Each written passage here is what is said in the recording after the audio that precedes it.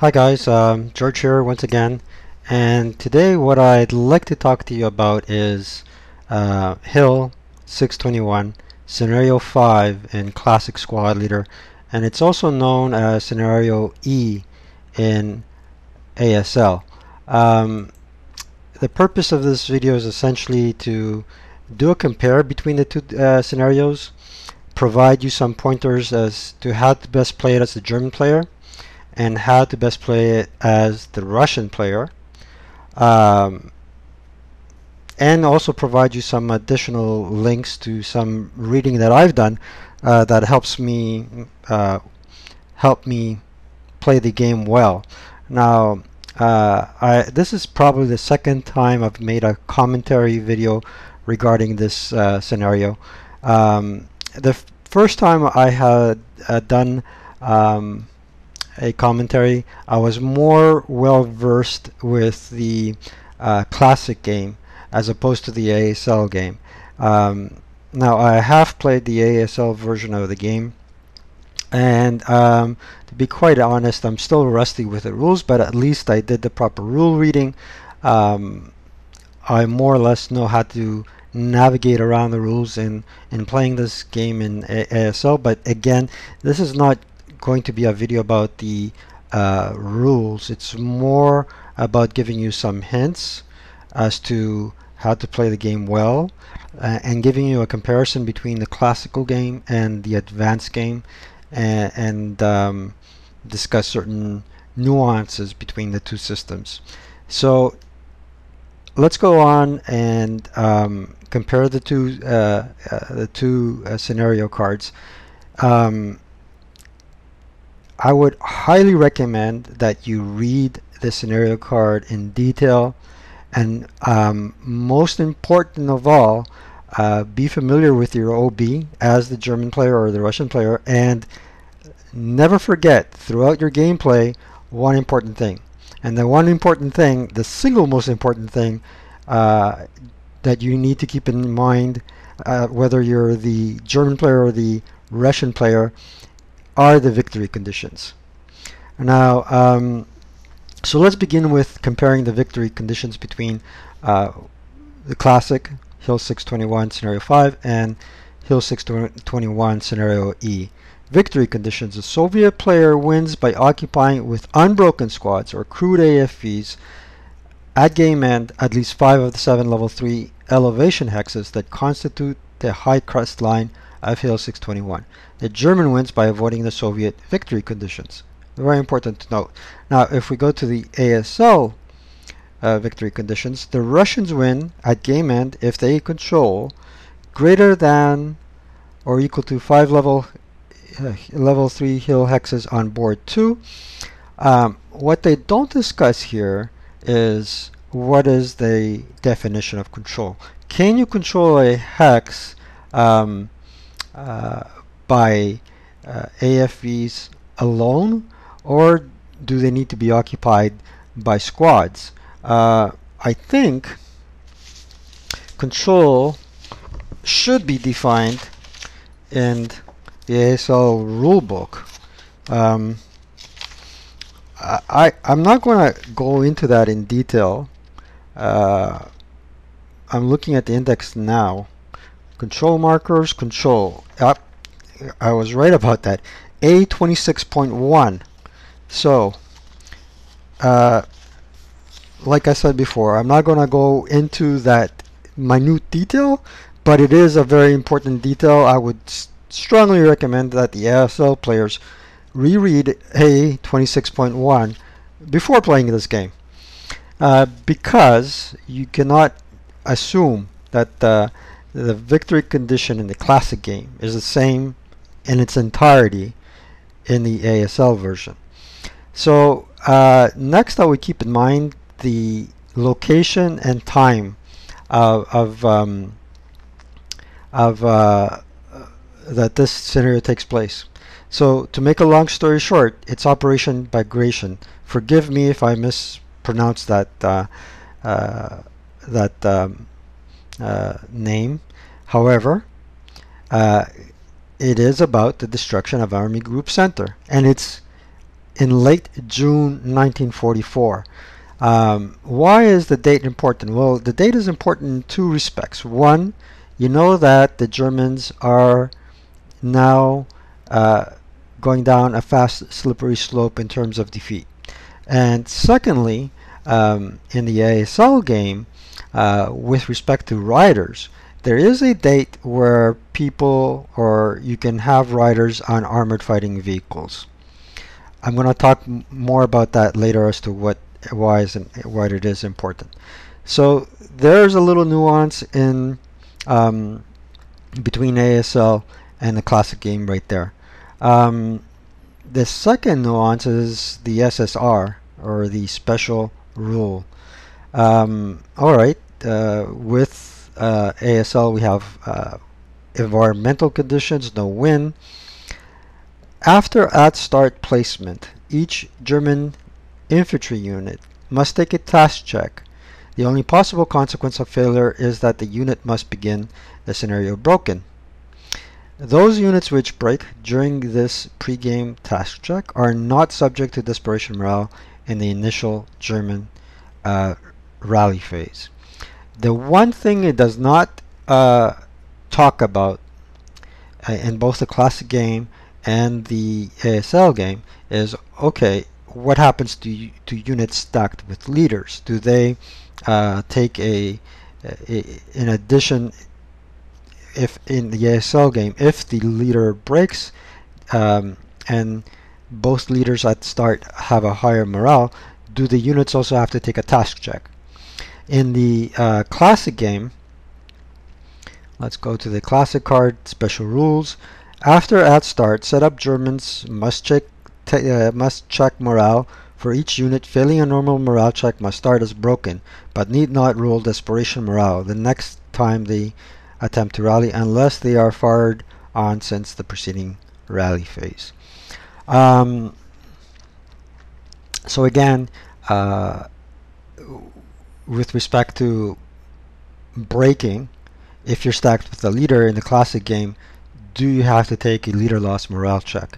And uh, both in each occasion that I've played it, uh, my opponent and I agree that since we exclude desperation morale, we should also exclude uh, the leader loss or uh, leader loss morale check or the leader uh, loss task check in that respect. Um, so let's look at the OB. The OB is rather interesting. What I have here is scenario 5.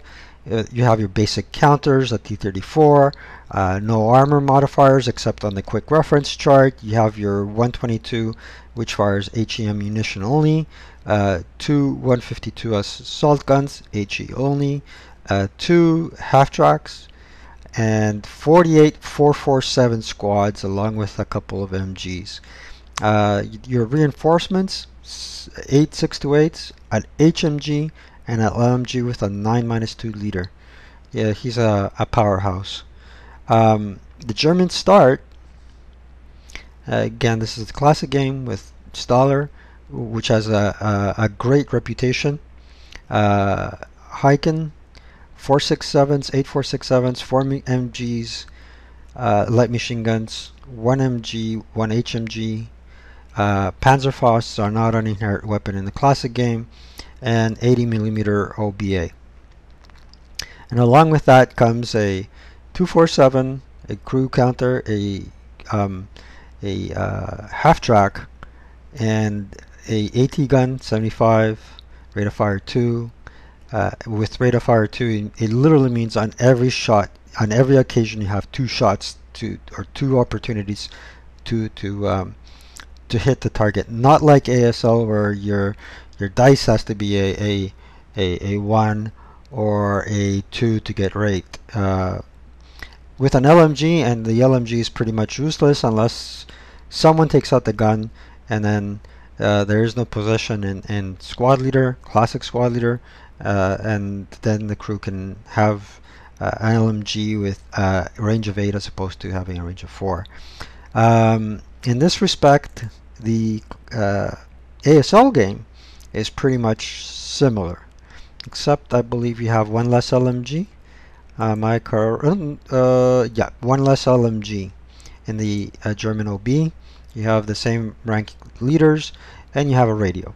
Now, the radio in ASL precludes the leader from making more than one um, action. So you either are rallying units or you're on the radio calling OB, OBA in. So in this uh, respect, in the ASL game, you're better off giving the radio to the lower uh, ranked leader as opposed to the 9 minus 2. Um, and here you have uh, the crew, the AT gun, 75L type weapon, and um, no LMG for the, the crew. Now, given this OB, what I recommend in terms of a setup, let's go to our board here, right? Okay. Um, in the classic game, I would like to keep all my units uh, in somewhat uh, close to their leaders. Um, in the ASL game, you can afford to, to have them a bit more spread out.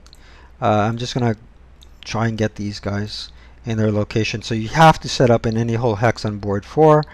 Um, setting up close to where the Germans would other uh, where the Russians would otherwise set up is not recommended because if you are uh, within uh, I believe 8 hexes range the Soviet player can opt for a human wave and you don't want to give the Soviet player uh, uh, that opportunity to uh, charge at you essentially.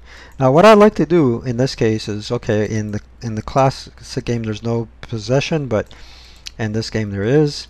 You want to have a your that's an MMG. Nope, you want to have your HMG there with your 9 minus 2 leader. Um, if you want to stack more than one squad, that's alright. But um, um, the MMG here, which uh, can, uh, let's put a squad first, right there. Okay. And uh, the other interesting place where you can put uh, uh, uh, put a put units are here in this hex here, right? You can stack a leader with his radio here. That proved to be effective for me. And then you have a couple of LM, LMGs um, uh, hard to say where to put the LMGs now in the classic game I would probably stack them in these hexes here right? And uh, somewhere where they can route here or, or even there. But actually more around here. And the other place that I like to set up people are here. Because they kind of cover everything see? They produce great fire lanes. Now and and then then then then uh, let's give him another squad there you go and let's take off the moves now, um, on turn one, you'll also be having um, a half track coming in. Uh, so you'll probably have, you should set it up here. I'll tell you why to set up later there. Now you pretty much have everything covered here, providing that they um, you pass the task check. Now, why set up a Shah over there? Uh, I'll tell you my, my secret. Um, so the Russians usually set up around here. Right down here. Right? Okay, great. Now, what the biggest mistake an inexperienced player will do is probably take a uh, let's see where do we oh here we are. Take a, a level 2 counter. Higher, put them on level 2, and take the 9 minus 1 leader, uh, let's take two squads,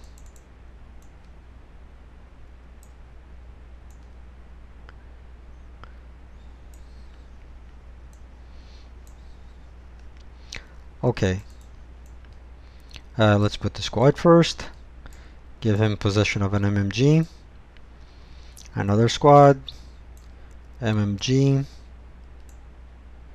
And Dotsky. Now why would this setup be a mistake for the Russian player? Um, let's take a look at and see. Um, loss from here to there.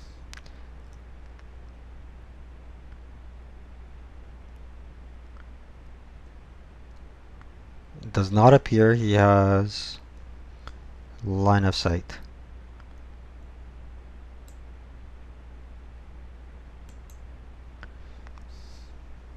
Hmm. Let's do that again.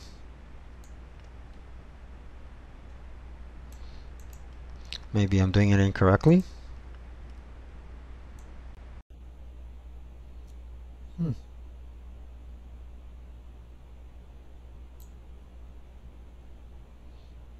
Blocked.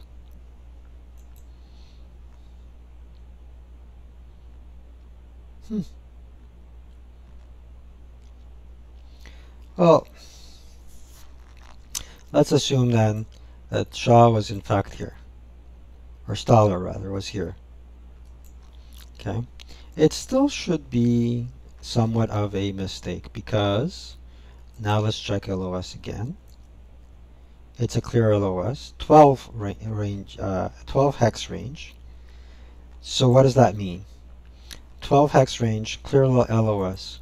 So um, the best that Dotsky could muster is a 4 up 1 against Staller. Uh, the, the, the range of the squads is a maximum of 8 and uh, the MMGs are halved and don't forget that the Soviet MMGs are 5 portage points and only have a range of 10 and breakdown 11 so essentially you're firing them at long range half firepower and you only have a you, you have a up one um, DRM. All right, great. Now what does Shaw have? Or Staller, actually. He can fire at 8 up 1, double the firepower, because it's a range of 12, so these two squads are halved. And the HMG has a range of 16, so it's at full firepower. So it's up to 11, but there is no 11. He's one firepower away from from uh, having a 12 firepower attack. So stack an LMG with them. You'll have a 12 up one. How will he, how long will he, um, on average rolls, uh, last up there? And in the meantime, having Dotsky up there in the second level of building N2, two, uh, 3N2, is an opportunity cost because as a leader, he can initiate a human wave. He can give at least uh, one squad and an MMG uh, additional movement. Now, speaking of the Russians, okay, um, let's take a look at the Russian OB um, because it's different from the classic game as opposed to the ASL game. So let's go back to the scenario cards. Russian OB, 48 Russian units. But take a look at this, folks. These units have assault fire, underlined by the 5, but they only have a range of 2. So the best use of, and no smoke exponents for either one, um, so the best use of these units here is to charge. Get up close and personal. Take advantage of the assault fire capability. And if you don't, you lost the game. Surefire bet you've lost the game. 447s, usual Joe Schmo. Sorry for the expression. It's just a typical Russian unit, okay? You have two MMGs. There are no use of, for you at long range. And as for the LMGs, they're only useful up close and personal. Okay? And I would suggest that you give the LMGs to the 527s, not to the 447s, for two reasons. One, it it, it, it allows you to fire a, a longer range, and at um, point blank range with assault fire, you have uh, point blank range or within a 4 hex range. You have assault fire. Well, actually, you have to be in normal range to get assault fire. So in normal range, with the LMGs, these units become uh, units that can um, clear the way for everybody else to take the objective. So um, before I, I provide you with a, a, a, a recommended setup for the uh, Russian player, um, I want to go back to the objective. And this is typically what the Russian player forgets. The objective, ladies and gentlemen, is capture 5 or greater than these uh, hexes. So your thought in the game should be move, move, move. Um, the thought that the German player needs to keep in mind is defend, defend, defend. Um, skulk at your own risk. Um, if you find yourself in, in, in front of a Russian fire group where the odds are are against you and you feel it is prudent to skulk, go ahead. But if you're counting on skulking as the key to winning the game, it ain't going to happen.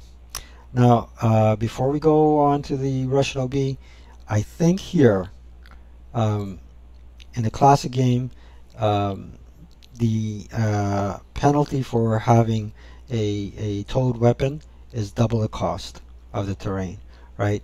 Um, I'd have to revisit the rule book just to confirm how uh, the towing is, is, is like in, in ASL. It, it's somewhat similar, but again, uh, it, it escapes my memory at the moment. So um, the important thing about this gun is is even if it takes three turns, your ultimate objective is this X right here. Okay. You occupy this hex here. Okay. Um, and uh, let's do just a quick LOS check.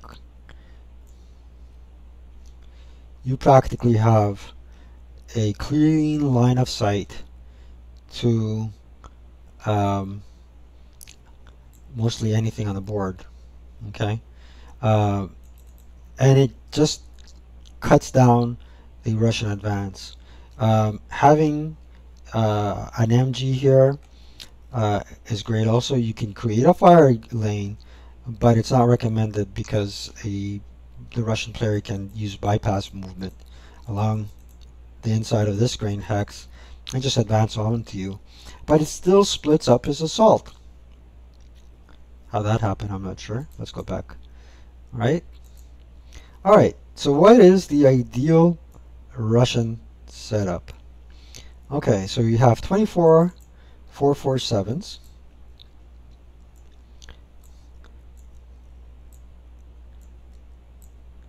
Alright,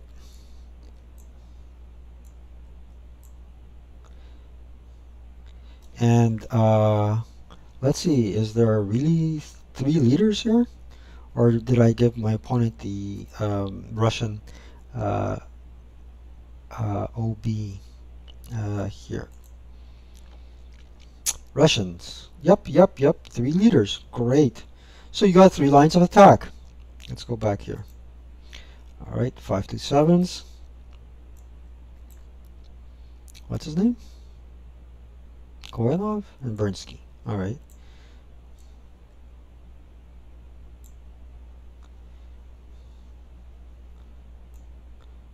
Sorry about that.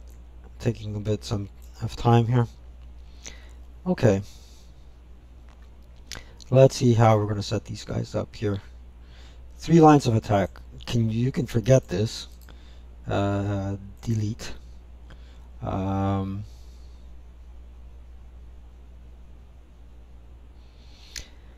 Well, here's a good place to put um, an MG and a leader. Here's another good place to put an MG and a leader.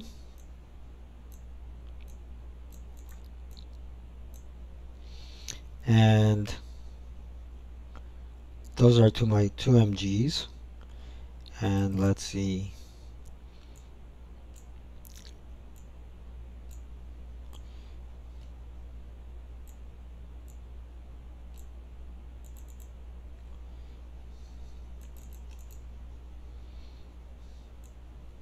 Oh, and we did say we're going to put a leader there.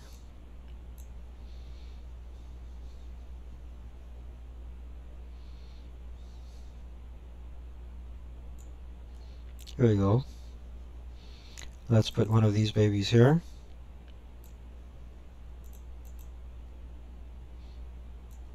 Give him an LMG.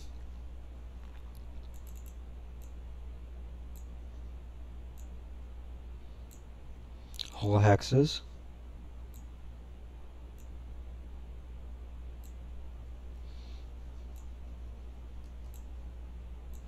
So basically here what I'm doing is, is I'm forming a nice line. Uh, and uh, the reason why I'm doing this is for two reasons. I'm doing a scattered assault, right? And uh, if I put units here, let's see, one, two, three, four, five, six, seven, eight. They're out of uh, not in range, unfortunately. Um, but we will in any case. There you go. And um, see here, I could have used another leader um, for this side of the board. Now, why am I putting units here as well? I'll explain that in a second. Let's just continue. I think you're getting the, the gist of it.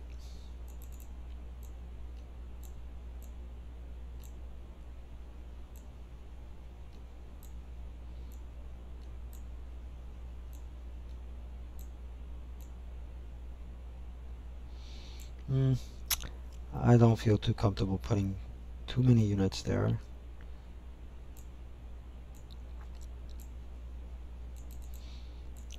Um,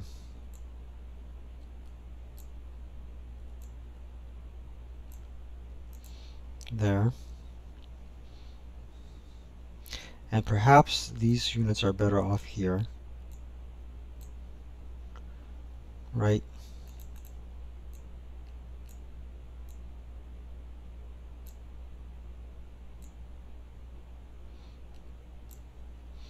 Yeah, I am stacking two units per um, per hex.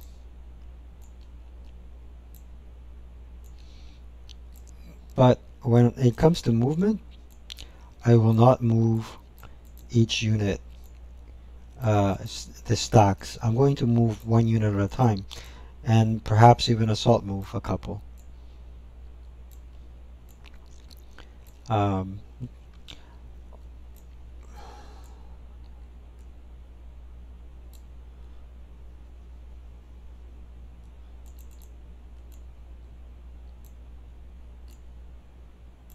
Oops.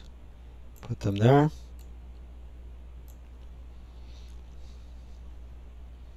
And there's a couple of units we can put here.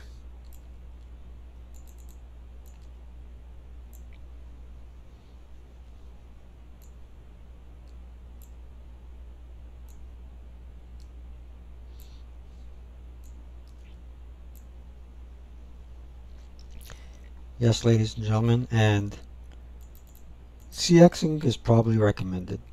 Uh, get up there as soon as, and you notice I have now my leaders on three different spears of attack. Um, why did I place units here on the far edges of the board, here, here, uh, is because on the second player turn, um,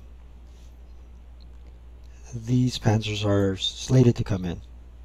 Okay, so where would I place the uh, uh, place the um, the panzers? Ideally, what I'd like to do is, is because I'm outnumbered in tanks, I, uh, 6 to 60 34s to my tanks. Ideally, I would like to move them on these locations here. So I'm combining my tanks with the infantry fire. Okay, the T-34s come too close, they'll have the infantry to contend with. Right now, the main difference between um, uh, the classic game and ASL is in the classic game, um, you can achieve this pretty easily. In um, in ASL, it would not be possible. It would not be possible unless you go CE. So you can benefit uh, for from the um, half movement factor, the road bonus. So if these units are CE, and if and you have a a a, a Russian advance here right? All along this road or maybe even they could have made it up here right? What happens then? If they're contemplating on getting the road bonus and going CE along this road hex right? You can fire in the uh, exposed crew stun them they fail morale check etc etc it impedes uh, the ability of the your advance your your your wave of advance kind of impedes um, the German armor from advancing to the desired uh, locations. Now, what can you do as the German player to, to, to counteract this is go here. Uh, the Russian player has to bring in his tanks from one road hex or the other, not both. These T-34s down here, right? So, uh, all is great and dandy. Uh, the the Russians are advancing at their towards their location. Um, they are impeding your the ability for you to uh, get your tanks in a hull down position or close to in infantry so they can be supported by infantry. Take the opposite. Take the opposite route and uh, go for the armor. Start thinking about the armor. Right? Um, again, um, is it always straightforward? Um, I'm not sure. Now, there is an article, and I'll give you the link to this article, and this article was written for the uh, by Bill Thompson uh, for uh, tips on using the armor here. So instead of going into a dice game, um, you will have the advantage. So I highly recommend this um, uh, this uh, article to be read. Um, and in principle, uh, these tactics also apply to the ASL game as well as as the um, the uh, classic game. Um, so so far, what do we got? Let's take a go look back at the map board. Um, so we have the cl classic setup uh, we have where the Russian uh, units should be set up and how they should execute their their attack. Always focus on your ultimate victory objective. Let's talk about the T-34s. T-34s, what I recommend is take out the um, if you if it's possible take out the German panzers. If it's not possible, use your armor as a critical assistance tool to break the German line and ensure a path to the hill. Or beat a path to the hill as, as soon as possible uh, and co cover your your butt. So you can you can send three tanks up towards the hill, and have three tanks protect the uh, the flanks and the rear of the uh, advancing tanks. Simple as that. Is it simple? Perhaps not. It sounds a lot more simpler than than it is, but uh, you also need an element of luck. Um, now, as for the advancing troops, uh, the reinforcements that come in turn five, um, let's let's let's turn to these fellows here first before we turn to the Russian player. I have a couple of points to mention about these fellows as well. Now, they're coming in using half tracks as passengers, right? Here you have them, right? Um, keep in mind the uh, portage points and also give the radio to your worst leader possible, right? Uh, you have an MG. And you have a HMG. Of course, you're going to stack your leader here. Now, what you need to do ultimately is debark on the uh, reverse slope in these hexes here, right? Now, there could be, um, and actually you should be, have group here, have the MMG here or there. There you go. Where's that leader? Yep, great. And this fellow here. Right? Um, point of reference, this is an LOS uh, blockage. Uh, group with his HMG can pretty much cover this side of the hill. Uh, the MMG can cover here depending on whether your AT uh, gun survives or not, they pretty much have everything here covered. Now, the trick is debark there and then bring that half truck up there. Okay? Bringing him up there, he has a a AA gun with three firepower factors. He gets destroyed. Wreck him. Oops, sorry. Wreck him. Okay. He's underneath the wreck. He gets a plus one modification. He already gets a plus one modification, but he continues having a, a plus one mo modification, DRM, uh, even if the uh, the Russian units make it to the second level hill hexes. Alright. Your reinforcements, you'll have to wait and see how the battlefield evolves to see where it, it is best to bring them in. Uh, just make sure that you use this uh, tank against uh, infantry and the Stugs as assault guns against the any remaining uh, Russian uh, armor.